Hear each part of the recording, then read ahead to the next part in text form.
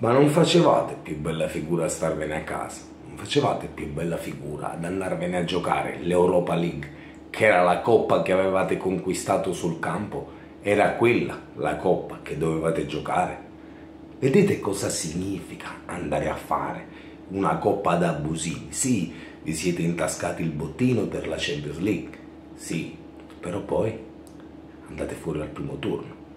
E io spero, spero che riusciate a fare terzi perché dovete andare in Europa League, non dovete essere eliminati, non dovete rimanere senza coppe, dovete andare a fare l'Europa League e giocare di giovedì sera. Perché quello è quello che dovevate fare, quello è quello che il campo vi aveva predestinato e invece la giustizia sportiva, l'amico Gravina e i movimenti dei pagliacci della FIGC avevano portato a questo. Attenzione ragazzi, io lo ribadisco, io non sono antimilanista, io sono tutto tranne che antimilanista. Io ritengo il Milan l'unico avversario rispettabile in Italia e ritengo Juventus-Milan il vero derby d'Italia. Detto ciò, questa coppa non la dovevate fare e quindi godo solo per questo, perché io ho sempre tifato per voi in Champions League nonostante che voi so che avete sempre fatto il tifo contro la Juventus, ma il Milan non, non mi sta sui maroni, non mi è antipatico, quindi sto a pensare ai tifosotti da quattro soldi.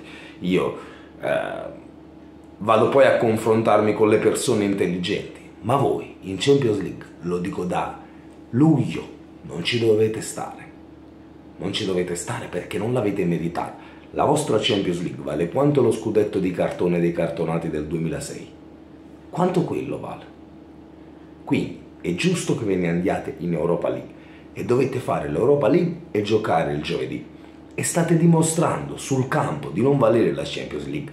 State dimostrando sul campo, sul campo, che la semifinale dell'anno scorso è stata un puro caso, dovuta a un sorteggio che faceva tutto parte, tutto parte del patto tra Gravina e Ceferin quando Gravina ha venduto la Juventus, il club più titolato d'Italia. Gravina lo ha venduto a Seferin, Seferin gli ha dato il posto di vicepresidente dell'UEFA, gli ha dato la compartecipazione agli europei del 2032 e gli ha dato delle agevolazioni per gli italiani, in particolare per i cartonati che continuano a rubare ogni partita, anche ieri sera, un rigore nel dubbio, sempre a favore loro, sempre a favore loro, ormai non, di loro non voglio neanche parlare. Ma il Milan è giusto che venga eliminato e si sta dimostrando che non è una squadra adatta a giocare la Champions League. Basta.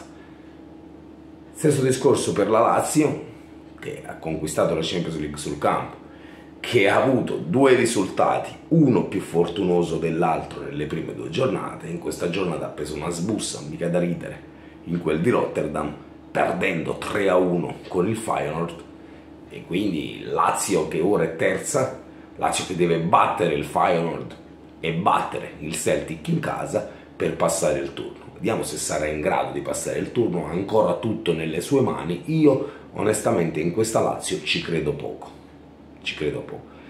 Però lo ribadisco, il Milan deve riuscire a fare il terzo posto e qualificarsi per l'Europa League. Fatemi sapere cosa ne pensate nei commenti e fino alla fine, contro tutto e tutti, sempre e comunque. Forza Juventus!